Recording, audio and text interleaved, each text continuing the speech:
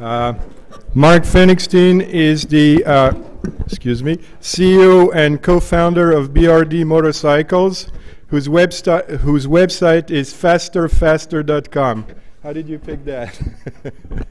uh, some of you might know that I am uh, myself um, quite an enthusiast of motorcycles, and when I invited Marc I had a secret hope that he would bring a sample to test, but I guess he failed to do that.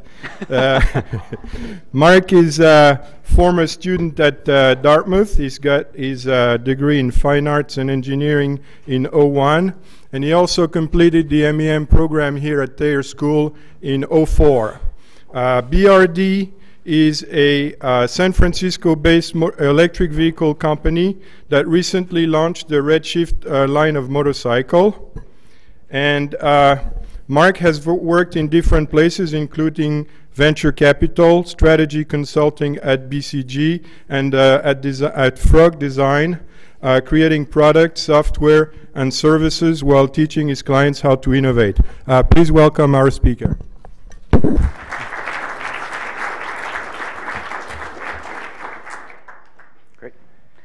Thanks. Um, great to see this big of a turnout. A quick show of hands. Um, how many folks are engineers or engineering students? Oh, okay. Um, business students? No. Other? Okay. Uh, and how many folks have ever ridden a motorcycle? All right. New Hampshire loves motorcycles. I, don't, um, I would have thought it too cold, but it's uh, all about living free and sometimes dying. Um, so this is the redshift. Um, when we get into production, this will be the first production electric vehicle to be faster than the gas equivalent, car or motorcycle. First production street vehicle of any kind that's faster in its electric form than it is in gas. And that's a pretty unique moment in, um, in transportation. Um, we built this bike um, on a shoestring budget. Our team is uh, now five people. Um, at the time that we were building it, it was only four people. We developed our own drivetrain from scratch. Um, the level of sophistication in this drivetrain is actually beyond what's in the Tesla Roadster. Um, and um, when it does go on sale, it'll sell for about $15,000, which um, is kind of at the upper end for motorcycles, but pretty, pretty economical in the grand scheme of things. Um, so I wanted to talk a little bit about how we did that and where we're headed next and why we picked the space that we did. Uh, I want to leave more time for questions than for me pitching my bike to you. Um, but I'm going to start by sharing a little video just so you can get to know us and the team. We're a little bit different than a, a typical, especially Bay Area startup.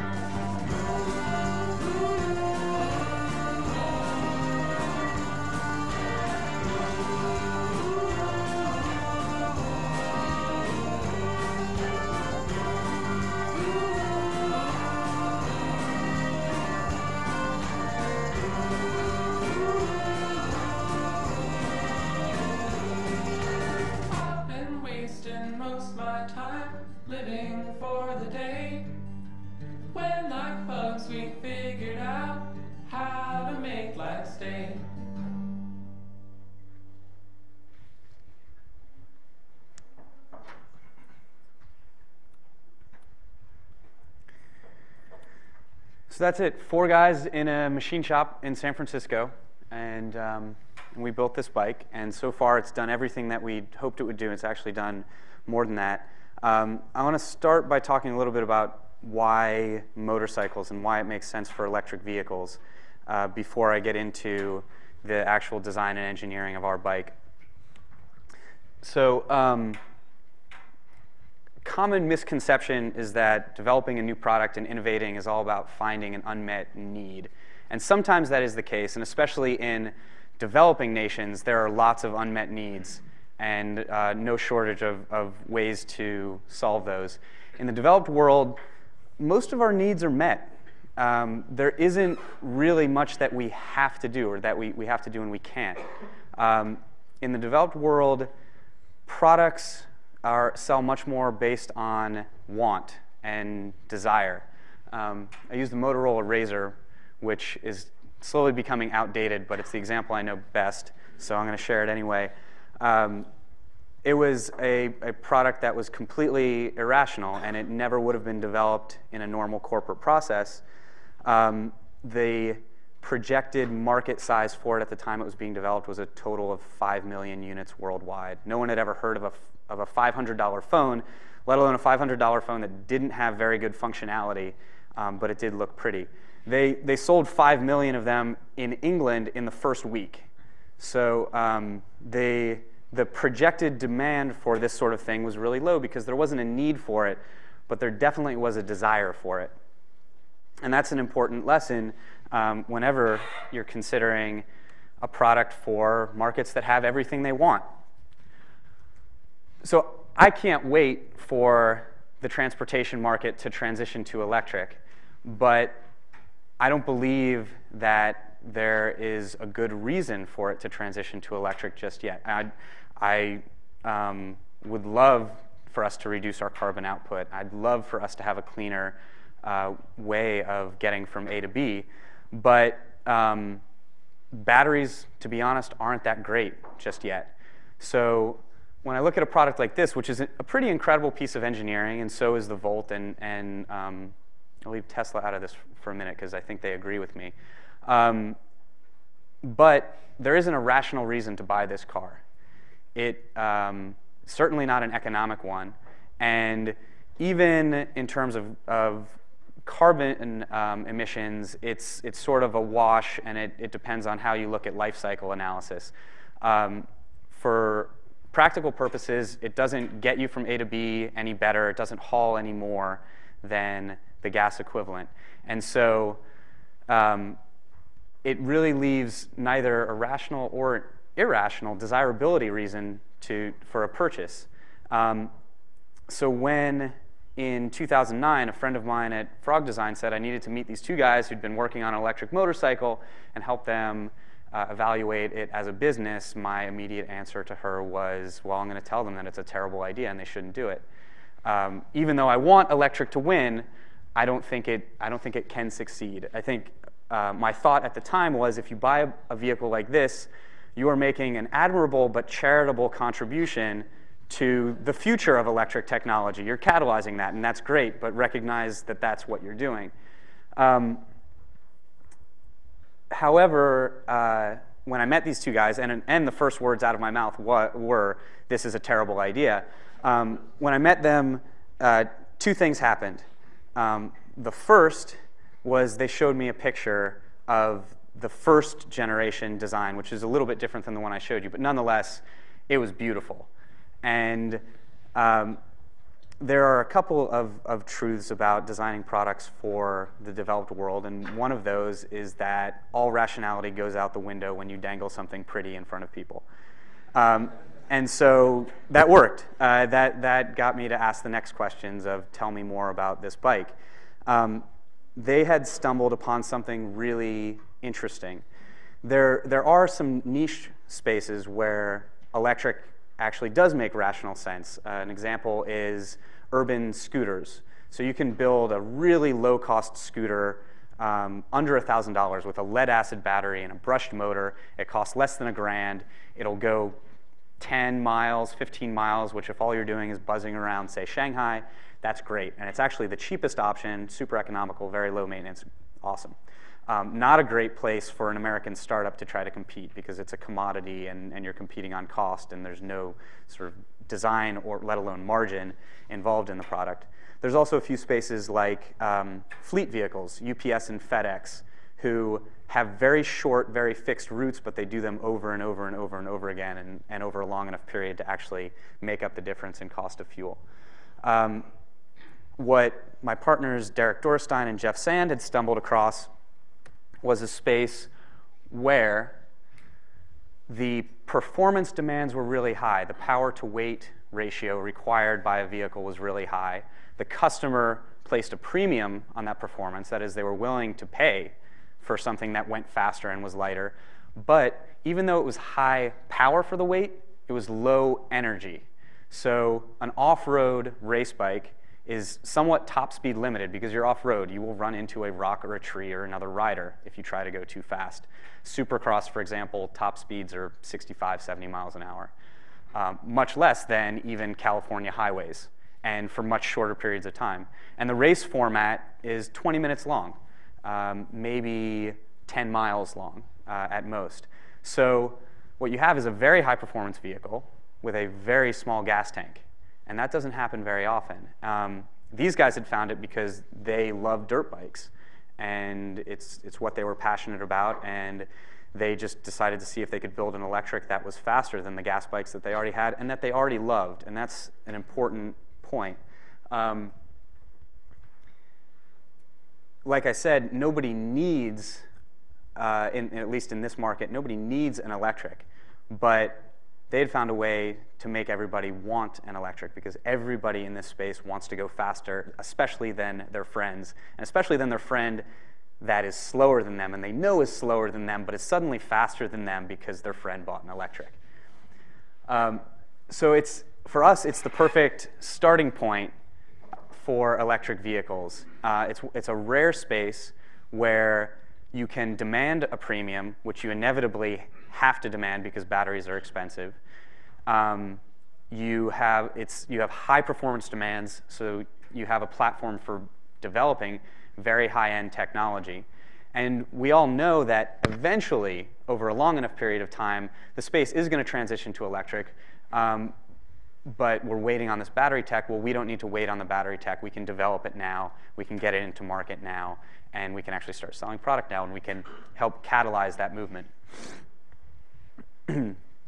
um, another interesting thing happens. Um, so we have these off-road bikes, which are a really obscure niche, high-end race performance off-road bikes, and um, so like, oh, that's you know not a very significant market. Um, it is a great place though to build rabidly passionate customers because they care so much about th this bike. It is their hobby. It's what, it's what they care most about. Um, and so if we can deliver that performance, they love it. But another thing happens with this type of bike is it turns out, and this is pure serendipity, I won't claim strategy, um, that a, an off-road motorcycle is a great platform for an on-road bike. And that sounds counterintuitive, right? You, you should have a better bike if you start by designing it for the application through some weird quirks of motorcycle chassis dynamics um, and a long history of motorcycle design being driven by artisans rather than engineers, people really didn't figure out that a tall, lightweight bike actually handles faster on the road than a low, heavy bike. Um, and the, the quirk there is the height. You wouldn't expect a taller bike to be faster, but it turns out it is. It has to do with the roll center of the bike. Um, so despite a longer wheelbase and slacker steering geometry, um, an off-road bike on on-road tires will outhandle a traditional sport bike, you know, the fully fared ninja-style bikes, um, to a point. It's at low speeds, um, low speeds and tight courses, something like a city, something like uh, a goat trail or a secondary road, um, a go-kart track. This uh, this type of bike would be the fastest thing you can buy. Once you get out on the highway, big open road, everything changes. Um, so not only do we have an off-road bike that uh, is the fastest, arguably most desirable thing in the category, we also can have an on-road bike, and this genre is called supermoto. In this case, it's in police trim. It ends up being the perfect urban patrol vehicle. Anywhere where police officers are using, say, bicycles, horses, or dual sport motorcycles, crowd control, ballparks, parades. Um, it's a perfect application for that. and then there's also the, oh, whoops. Ah. Uh, I love PowerPoint. Microsoft is my favorite. Okay, so another really interesting thing happens, and we didn't, again, being completely honest, we didn't realize this until we got into it. Um, these race bikes require a huge amount of maintenance. So one of our assumptions getting into this was, well, the electric's going to be more expensive. We know it's going to be more expensive. Let's make it worth it. And we do that by making it faster and more fun. What it turns out, though, is, is that the bikes that we're going up against, um, the version from Honda, for example, requires three-hour oil changes. So every three hours of, of use, you got to change the oil. Um, every 18 to 20 hours, you have to do a valve check, maybe a valve adjustment. Uh, every 40 hours, you're rebuilding the top end. You're replacing the piston, the rings. You're rebuilding your engine. Um, and if you're not doing that maintenance yourself, the costs add up pretty quickly. When we ran the calculation, we discovered that even being really, really conservative about the maintenance cycles, so ignoring Honda's recommendations of three hours and only changing the oil every six hours, ignoring their valve adjustment of 20 hours, only doing it every 60 hours, our bike actually ends up being significantly cheaper over a typical life of a new motocross bike, which is 200 hours of use. After 200 hours of racing, the bearings are shot, the chassis rattles, and generally people get rid of their bike to someone who has to rebuild the whole thing and replace every bearing in there. So, um, and uh, so we end up, like I said, about $2,000 cheaper over that life cycle. And we're penalizing ourselves pretty badly in terms of um, resale value here. We assume after 200 hours, our bike is worth half as much as retail, which is the same assumption we made on um, the Honda. But then we also assume within that half as much, the battery itself is worth half as much. So we're, we're subtracting twice just to make sure that we're really conservative about what these used bikes will sell for. And we still come out ahead. So what we end up with is a bike that is not only faster, I'd argue prettier, but actually cheaper. And so now we, we have a, a, a product that can sell based not just on the irrational and the passionate, but actually on the rational and the economic. Um, again, something that hasn't happened in the electric space before. So let's talk a little bit about the technology, because I think the vast majority of hands were engineers. Um, we, uh, like I said, developed our own motor, our own internal gear reduction, our own battery pack. We don't do our own battery cells. Um, our own battery management system, our own ECU. We also developed our own chassis, and I'll get to that one in the next process. Um, one of our advantages and disadvantages is, like I said, we're four people, now five. Um, our engineering team consisted of one other Thayer guy, David Drennan, some of you might know him, and um, uh, another founder, Derek Dorresteyn. Derek basically engineered this entire system himself. Um, on the one hand, that's really challenging, one person taking on an entire drivetrain. On the other hand, it is great for systems level engineering and systems optimization because you have one brain that gets to manage all those variables at once and you're not constantly communicating back and forth. So if you're trying to optimize all of the parts as a system and you're iterating through it many, many times, if you can get one person to do that instead of two, let alone five, um, you have a huge advantage. So um, the magic in our system is that it is optimized for power density, and it's optimized for the range of speeds that street-going vehicles see. Um, our motor is a PMAC motor, and PMAC motors have existed for a while, and they're used in all kinds of applications. But what Derek found when he first got into this and was trying to find an off-the-shelf motor to just stuff into a, a, Honda chassis was that those motors were designed for other applications. And, and the firms that specialized in, these desi in designing these motors were better at designing them for other applications, like aerospace or industrial applications, where they tended to run in kind of a fixed range. Um, almost all electric vehicles have run into the problem where the motor is usable over a much broader range of speeds than a gas motor, than an internal combustion engine, but not quite enough to completely cover the range of speeds that the vehicle sees uh, without using a transmission. And everybody wants to get rid of the transmission because the transmission is just kind of a nasty, heavy, high maintenance tool that you use to try to make a gas motor work over a broader range. Um, and if you use off-the-shelf electric motors, you kind of need a transmission also. We wanted to eliminate it. Tesla took a similar approach eventually. Um, so what we ended up with was, you've probably heard a lot about how electric motors are torquey. And they are, depending on how you look at it. Um, we didn't need torque, we needed usable speed range, and we needed power. So we have a very small diameter, very high speed motor which means it functions from 0 RPM to 12,000 RPM, which means that even without a transmission, our motor functions over the same range of speeds as a gas bike with a five or six speed transmission. Our bike will run from 0 to 100 miles per hour, and it will be faster than the gas bike in every gear except first gear. Um, but in first gear, you're actually traction limited, not rear wheel torque limited. And in drag racing, generally the gas bike has won for the first two feet, and then our redshift has beaten the gas bike over the remainder of the distance. Yep. The other piece of technology that we ended up developing is this. This is our chassis. Um, when we got into this project, uh, I've mentioned we have a machine shop uh, that's my partner Derek's machine shop. He's owned and operated for 10 odd years. Um, between Derek and Jeff, they've been building things in sort of machine shop, hundreds of units kind of sizes for a combined five decades. Um, they're good at building stuff, and that was one of our advantages, and we wanted to make the most of it. We actually initially thought we were going to bootstrap this company. With a machine shop on hand, we figured we can start building bikes right away and get them out the door and kind of work our way up.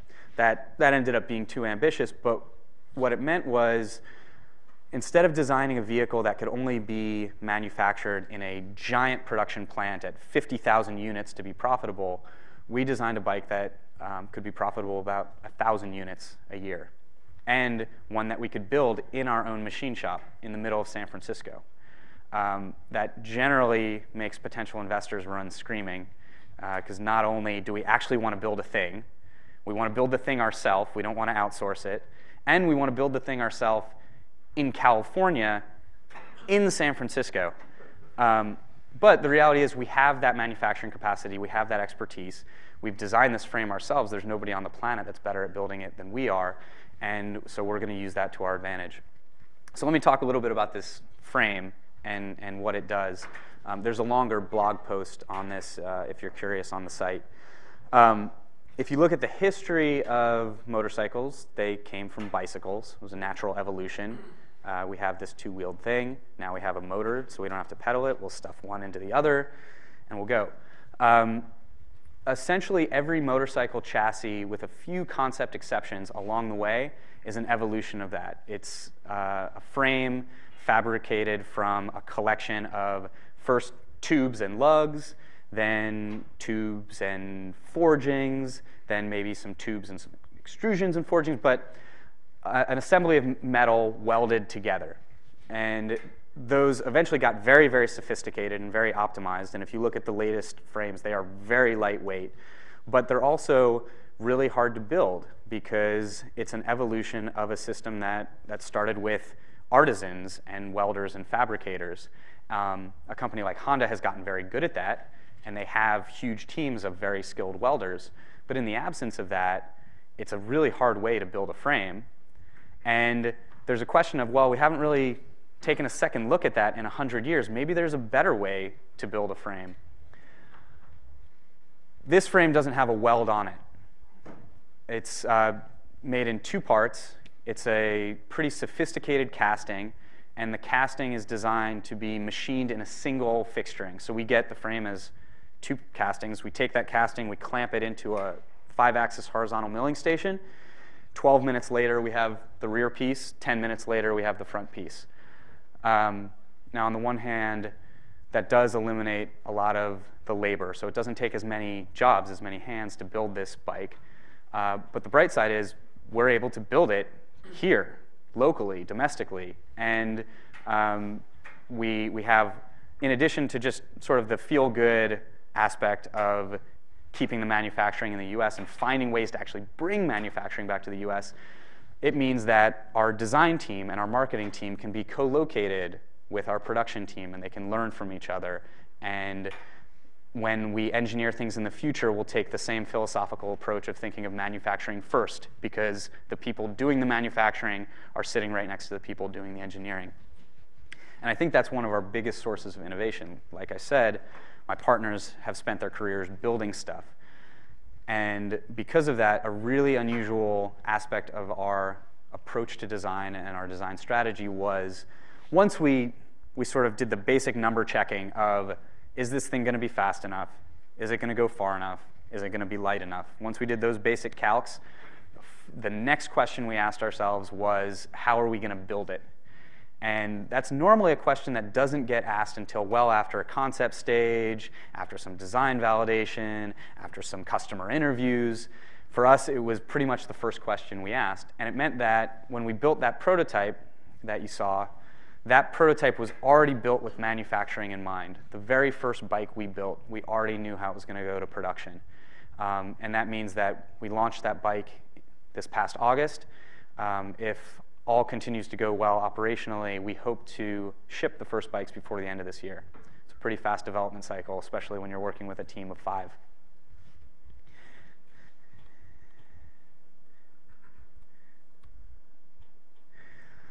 So, um,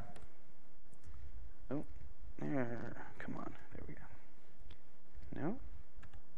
Yes. Okay. Uh, so that, that manufacturing-driven approach, um, what does that get you? We love Mission Motors. They're right down the street from us. These are some awesome guys. There's a bunch of Dartmouth folk there as well. This bike is an incredible piece of engineering. It's um, the first electric sport bike to start to threaten gas bikes. It's not quite there, but it's also not very far from it, and it's, it's really quite impressive. Um, they're not going to build and ship these bikes because building one of these would be in the neighborhood of 100 to 120,000 dollars at retail. Now, architecturally and technologically, it's a really similar piece to our bike. Um, they, have ended up coming up with some very similar solutions to the challenges of electric drivetrains and packaging that, that we did. Um, but they picked a different market space, these full-size, high-speed sport bikes that need to go for long distances. And they didn't start with the premise of how do we build it, how do we build it in a cost-effective way. And so like I said, our bike comes in at 15 grand and this one comes in at 120. You end up with an order of magnitude difference just from picking a different market segment and not considering manufacturing up front. So um, that's uh, one of the big lessons. However, these guys are, are now doing great. They're, they're um, focused on technology licensing and tier one supply. They're selling their drivetrain. They're getting great traction. We're definitely cheering for them. And um, yeah, great collection of folks. So what's the bigger picture? Because we still have this kind of quirky niche bike we're pretty convinced that everyone who actually wants one and buys one is going to love it, but we also know that there's not that many of that people. It's kind of an obscure toy for wealthy Westerners, um, which is where a lot of new technology starts, right? Uh, fancy phones, airplanes, helicopters, you name it. Um, a lot of this stuff starts as toys for the rich one of the other nice things about focusing on off-road bikes in the US is that our, our drivetrain is about the equivalent of a 250cc, a highly tuned 250cc gas engine. So displacement, this is all This makes sense, right? Quarter of a liter. Um, if you look at the rest of the world, uh, the rest of the world who uses motorcycles as utility vehicles, not like in the US where they're, they're purely toys, most of those bikes ridden by adults are in the 250cc range. So what is a kind of obscure, high performance, and really small drivetrain in the US is the perfect drivetrain for the rest of the world. And um, some interesting things are happening in the motorcycle space. Uh, the motorcycle space went through uh, a few of its worst years in 07, 08, 09. There we go. Um, in the US especially, motorcycles kept getting bigger, kept getting heavier, kept getting chromier, kept just getting louder. Um, and uh, it was largely because Harley Davidson was focused on one specific segment of customer and just wanted to keep delivering more of Harley to that customer. Um, unfortunately, it was a customer that many couldn't afford the $25,000 bikes that they were buying. But uh, the other unfortunate thing is that it wasn't bringing any new people into the fold, and, and motorcyclists kept getting older and older and older in this country. Um, but that's not because motorcycles are undesirable to the rest of the population, it's just because no one was giving the rest of the population the bikes that they want.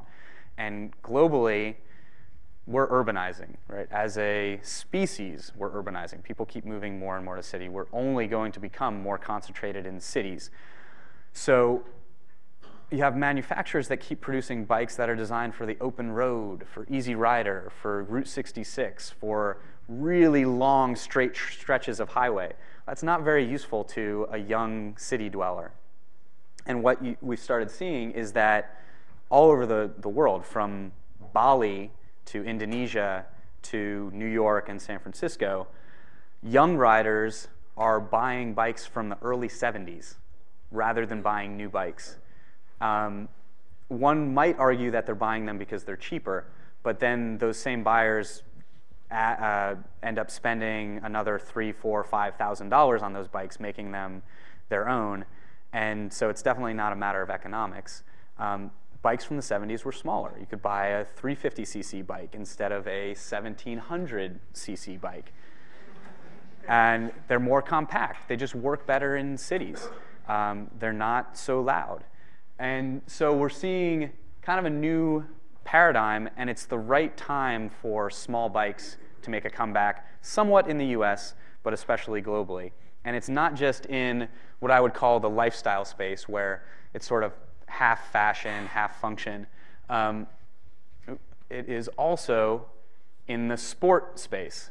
So this is part of the story I was telling earlier. You have these traditional sport bikes, big fully faired machines that are designed top speed of 186 miles an hour, uh, close to 200 horsepower out of this Hayabusa to the right. Um, that is not very useful for going block to block in a city. And what we're seeing instead is the bike I described earlier. People taking an off-road bike that does very well at low speeds, that's still incredibly quick and really high performance, and they're putting slick tires on it, and they're ripping around the city, and they're turning these cities into their playgrounds. Um, not that we would condone it, but these bikes are amazing in that they can go over stairs, retaining walls, cars, children, you name it. And so you have a, a, whole younger generation of riders that are reinventing the sport, and they're reinventing the sport around small, lightweight vehicles. Um, the last thing that's happening, and this is really specific to off-road, is that off-road motorcyclists, and nobody thinks of off-road motorcyclists as environmentalists. They do do a lot of lobbying work to keep riding areas open and to keep it wilderness, but um, we all know that as off-road motorcyclists, we are much maligned by the rest of the environmental community. And we also know that our motivations are not so pure. Um, the, the result of that is that off-roaders keep losing riding area. In Europe, off-road riding area is almost gone completely, and they have a long off-road motorcycling tradition. So even though off-roaders really don't care about electric, in fact, some of them downright hate the idea of electric, they love the idea of keeping their riding areas or even enabling new ones. And um, so you have an audience in this space that um, loves noise, loves gasoline, revels in the idea of burning fossil fuel. They bathe in it. And I literally have seen people wash their hands with gasoline after working on a bike. Um, but a small and growing set of them are begging for electric because their favorite riding area is under threat and they know that this is something that can keep their hobby alive. And so that is it. That's the bike. Um, thank you all, and uh, hopefully I've left plenty of time for Q&A. I've had some conversations earlier today, and they've been tons of fun. So I'd love for everyone to stick around, and let's, let's have a conversation.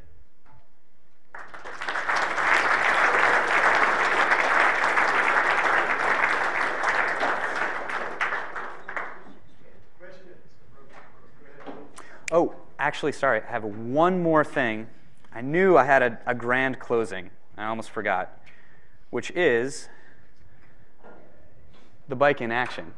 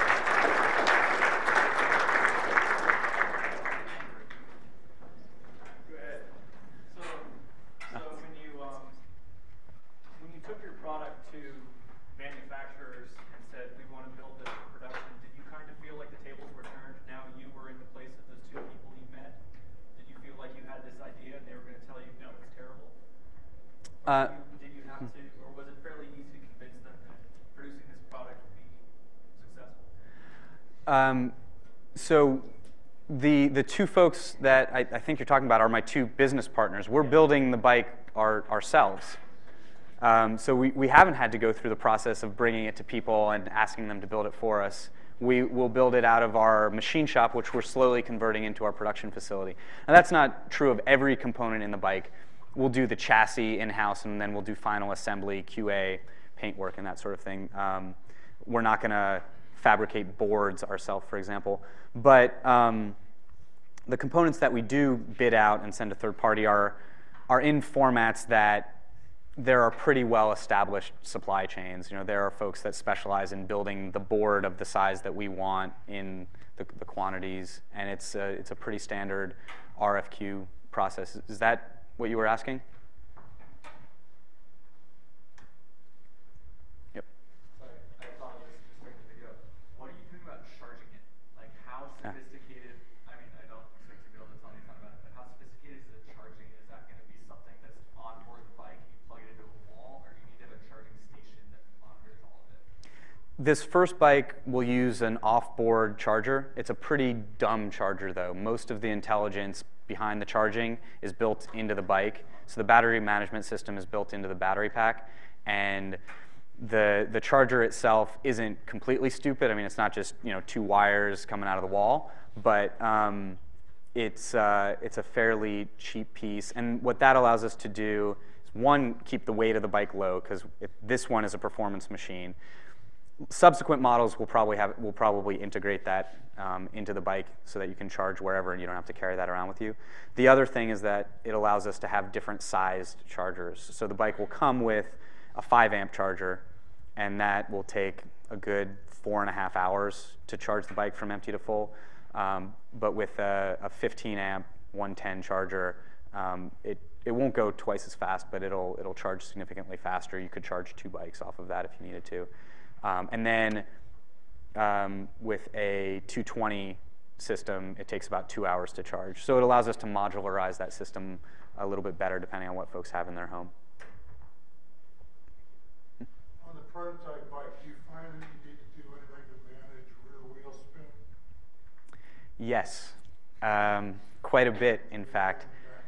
So, uh, so I should say a, a, a really um, another really risky but interesting part of the process of, of, that we took was we skipped two to three normal prototyping steps. A normal process would be to build a test mule that's hideously ugly as a proof of concept just to make sure everything works and learn from it.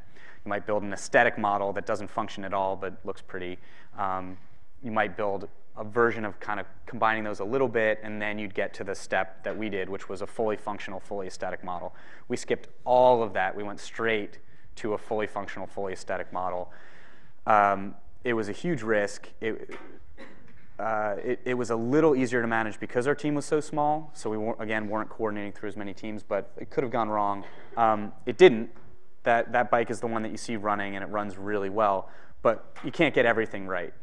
And you also know in advance there's a few things that you know you're not going to get right, and so you, you plan for. And um, throttle response, uh, and wheel spin and engine braking were three of the things that we just didn't know enough to know exactly how they were going to function.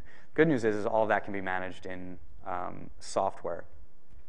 I'll caveat that by saying we are really opposed to the idea of traction control.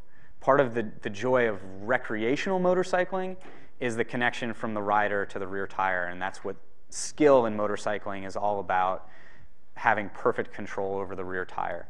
Um, and we feel philosophically like traction control is the bike taking over that for the rider and doing it for the rider.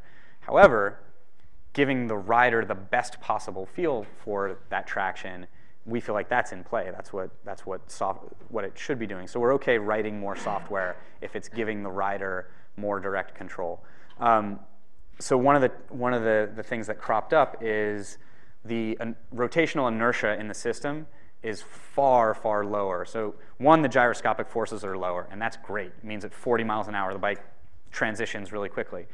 But the rotational inertia of the system means that the bike, the rear wheel spins up much faster than on a gas bike.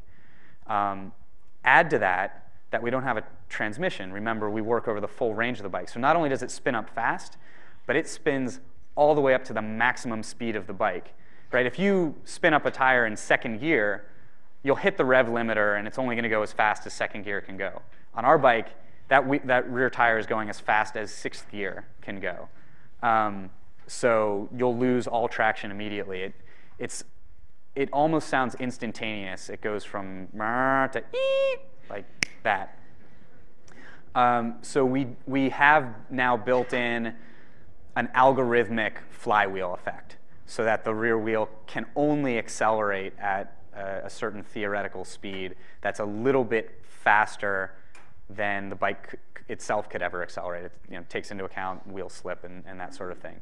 But it's, um, it's sort of a set rate. It's not the bike intervening. It just means that the, the wheel will only ever accelerate a certain speed.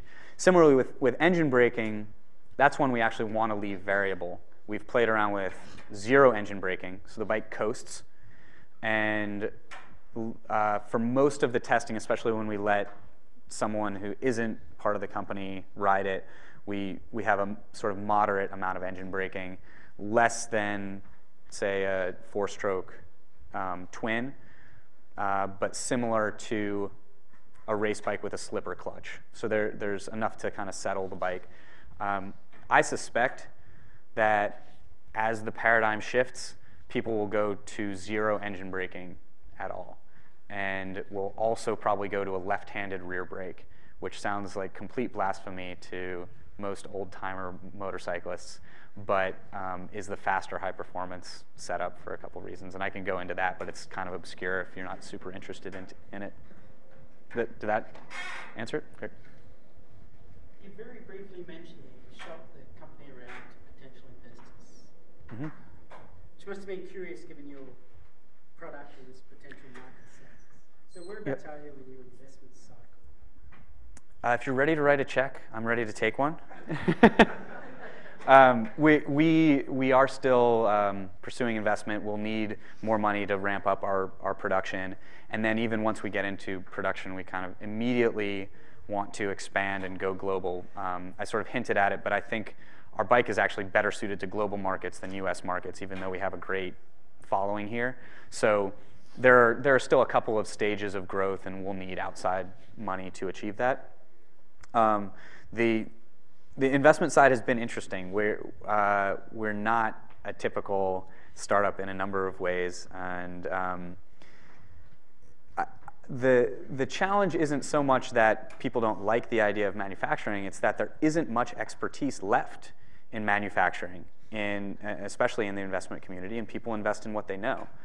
And so, uh, even if they love the product and they and they've ridden the bike, so they know we're not lying to them, um, it's it's a scary proposition to go against everything they've heard, which is that you can't build stuff in the U.S., let alone build stuff in California, and um, it, you know it's not their area. Uh, eventually, we we have we have found those select folks that came up through building stuff, uh, but it took a long time to find those folks, and, and they really do get what we're up to, why it works, and um, oftentimes they also have kind of the same philosophical reasons for wanting to see it succeed. Yes. Compared to regular motorcycle, your Christian's looking at the minimum number of parts. You go back one slide? Mm. A little bit about how you, how it works. This one? Um, yep. Uh, so we have, depending on where you start counting, um, we have seven moving parts in our drivetrain, not including sort of standard motorcycle parts, you know, swing arm, rear wheel, chain, not counting every link and, you know, each ball and the bearings, um, but about seven major components versus a four-stroke gas engine, which even a single cylinder has dozens of moving parts. You get up to a four-cylinder, you're talking hundreds of, of parts. Uh, that is part of the reason we were able to do this with such a, a small team. The, the building, building a, a, a, drivetrain like this is a subtle challenge, but it's actually not a com, that complex of a challenge. Um, I don't, in, no pun intended, but there's not that many moving parts. And um, if, if we were, say, trying to build a passenger vehicle, there's no way we could have done it with a team this small. One of the really nice things about a motorcycle is it's basically a drivetrain plus wheels. We don't have to design an interior. We don't have to design a body. We don't have to design windshield wipers. We don't have to design crumple zones, any of that. So it's the perfect platform if your goal is to either just build motorcycles, but also to develop drivetrain tech. You don't have to be distracted with all that other stuff. And that, that proved to be a really expensive and big challenge for Tesla. They had to kind of learn from scratch how to do interiors, how to do exteriors. In the end, it's, it's resulted in a lot of intellectual property for them. They're doing some very innovative things in the interior, but that was a long and arduous and expensive process for them to go through. And we don't have to deal with any of that. Um, so many questions. Yes? Have, have you uh, considered uh, doing retrofits for other bikes, or is it something you threw off the table initially? Uh, design won't work? Because they give a nice drop-in unit, you know, Yep. battery and a motor. We, we have entertained the idea of, um, of selling the drivetrain independently. Um, we probably will not do it for a few reasons. One is we built that chassis out of necessity. If, if we could have hit the performance that we wanted to by putting our drivetrain into a Honda or a KTM chassis, we definitely would have done that. Right? We didn't we didn't want to engineer anything we didn't have to, which is actually part of the reason why our bike is very conventional from the swing arm pivot back and from the headstock forward. Suspension, brake components, chain, sprockets, all of that is very standard because we didn't want to re-engineer that. That stuff works really well. Um, so I think the retrofit market is going to suffer from the same problem, and they're going to end up with compromised systems. And we don't really like the idea of people being disappointed in our drivetrain because the retrofit didn't go so well. Um, so I think it's unlikely, uh, although I don't know, like maybe a motor to DFR or something like that, if it fits their applications. You know, th- those sorts of things I can imagine us doing, but I don't, I don't see us really commercializing um, the drivetrain system as a retrofit. You, when you were talking about the Leaf and the Volt, you, you said you were going to hold off talking about Tesla for now because you thought they, you had Uh, on talk about that. What were you gonna say? Yeah. Um, so philosophically, what we're doing is, is really a continuation of what Tesla started with the Roadster. I think they felt the same way about, um, u- uh, about utility vehicles, about economy vehicles being electric, as, as what I described, which is that it, it doesn't make economic sense, and even the environmental case is, is somewhat marginal. So with the Roadster, I- I think they, they knew two things. One, that these vehicles were only going to sell as emotional decisions. And two, that the industry really needed something sexy as a halo product to attract folks, even to products that are less emotional and more practical. Um, so a lot of credit goes to them. We, we wouldn't be doing what we're doing if they hadn't started that four or five years ago. Yeah. What will your company be doing between now and late this year when we can buy one? Um, the, the basic steps are build out a test fleet to make sure we get enough hours on the bike. Um, we already have a list of hundreds of incremental adjustments and changes. Um, you know, no major changes. We got things 90% right, but that last 10% is a long list of little things.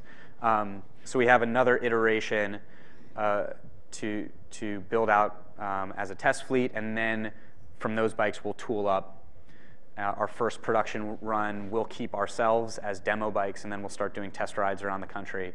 Um, but it's also sort of a last check to make sure that these bikes are really ready for consumption, and then bike, bikes will roll off the production line and ship to dealers. What's the expected lifetime of your battery pack and what's the cost of replacing it? Ah, it's a doozy, doozy. Um, Thinking of buying one. I'll give you the bad news first, which is that the, the battery will retail for $7,000, um, which uh, it hasn't come up yet, but I usually get the question, why don't you have a quick change battery? And if the $7,000 doesn't explain why we don't have a quick change battery, then the fact that it's 85 pounds and the idea of changing one of these things out by yourself in the mud next to a racetrack seems a little scary when you're holding $7,000 that you can drop and break. Um, that was uh, our initial design, the one that Jeff and Derek first had when I met them, was quick change. And we realized that that was probably a bad idea. We were able to eliminate a lot of weight, a lot of packaging space, and a lot of cost by going to a fixed battery uh, under the realization that no one's going to buy a spare battery for this bike. So back to life. Um, it's engineered for um, about 1,000 hours or 50,000 miles, uh, which, if you're used to pa- passenger cars, sounds really short, right? If you go buy a Taurus, you expect it to last at least 100, if not 200,000 miles. Motorcycles, um, with the exception of the big touring bikes, really very rarely see more than 25,000 miles. And if you're talking about an off road bike, um, the battery life is probably five times longer than the chassis life, just from the abuse that the chassis sees. So that's another great reason why we would want to start in a space where the vehicles are, excuse me, used over short distances. Yep. Uh, just looking at the design of the bike, um, the battery seems to be pretty low in the frame for obvious reasons, but it's lower than a fuel tank would be. And I'm just curious whether that poses any safety concerns going off road or anything like that. It does, which is uh, par- uh, part of the reason our so our battery has actually three mechanical layers of protection. Um, the cells themselves are encased in a kind of multi-layered aluminum block. Then there's airspace to the carbon Kevlar cover that you see in orange, and then there's more airspace to the skid plate. So it would take an impact that would destroy the rest of the bike before, before you'd actually puncture a cell. Um, but it's still a concern because that, that um, is a fire hazard and, and an expensive accident to have. Um, so far, we, we have crashed the bike and the battery has been fine in that crashing, but that's definitely going to be part of the testing regimen as we work through this summer.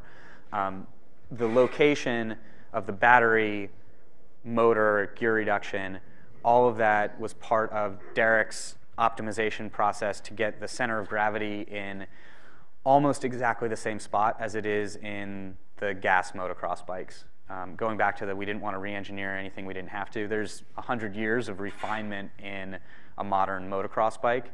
Ha- they handle really, really well, um, and we didn't want to risk handling worse. So we basically have matched the chassis geometry, center of gravity, all of that to um, the state of the art in the gas space.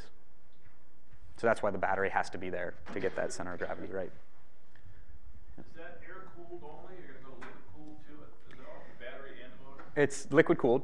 Uh, the motor and motor control, um, or inverter, depending on your vernacular, are liquid cooled, and uh, the radiator actually sits inboard of the front frame rails. So that that um, radiator shroud.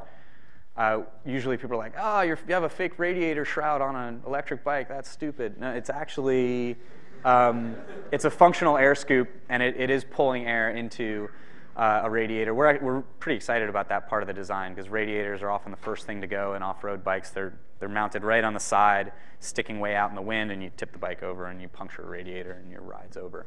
Um, so ours is pretty well protected.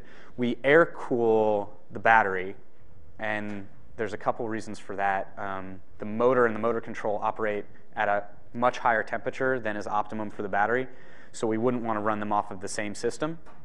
Um, the, the motor is going to be up around 170, uh, 180 degrees, and the battery we want to keep down at like 120, 130.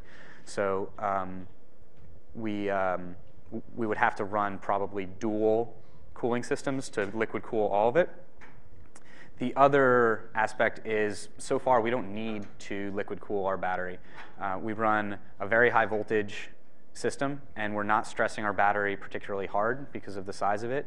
So um, through some kind of clever air cooling, passive air cooling methods and, and architecture of the, the pack itself, we've been able to keep the temperature in range, at least so far in testing. You uh, compared the bike to like a 250cc bike. Could you theoretically bring this to like an AMA race, input it into a 250cc race, or what needs to be done to certify it as being viable to the consumer? Um, it's, it's a hard problem. Uh, and so we, we have, we've defined equivalency ourselves, sorry, as weight and power. And so we're at 250 pounds, 40 horsepower, which is a touch heavy, also a touch powerful for a 250, um, but certainly not in the 450 range. Um, still, we don't expect to be sanctioned for a point series AMA supercross race, uh, just because even if you try to develop an equivalency from electric motor to gas motor, it's not a fair comparison to either of them. Our limitation is battery, not motor, um, especially in a supercross format where you tend to use throttle in bursts of a half a second to a second tops. We could tune our motor up to 55 horsepower. Um, it- the limitation is how fast it generates heat, and so if you're only using like you know bits of power, um, the motor will easily put out 55 horsepower, putting it in kind of the 450 range, but you'd run out of battery. And so we don't yet have a good way to develop an equivalency. It's not as simple as two strokes to four strokes was, and I know there's still some debate about that, but you know, you're at least sort of apples to apples. Um, but what we can do is exhibition racing, and we know what a credible race is and what good riders are and what a good track is. And um, if uh, if we can get the bike onto a real track under good riders and run those exhibition races, we'll be pretty happy with that initially.